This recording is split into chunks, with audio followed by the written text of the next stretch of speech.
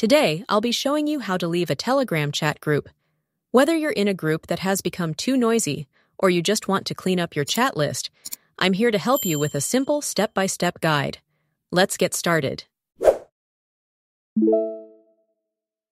First, open the Telegram app on your device. This method works for both Android and iOS, so no worries if you're using either one. Next, find the group chat you want to leave. Tap to enter the group chat, then tap on the chat profile image at the top.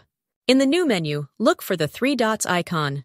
This is the last option in the row below the profile image. Tap on the three dots, and you'll see the option Leave Group. Go ahead and tap on it. You may be asked to confirm, so just hit Leave again to finalize it. Quick tip if you're not sure about leaving the group but just want to stop receiving notifications, you can also mute the group.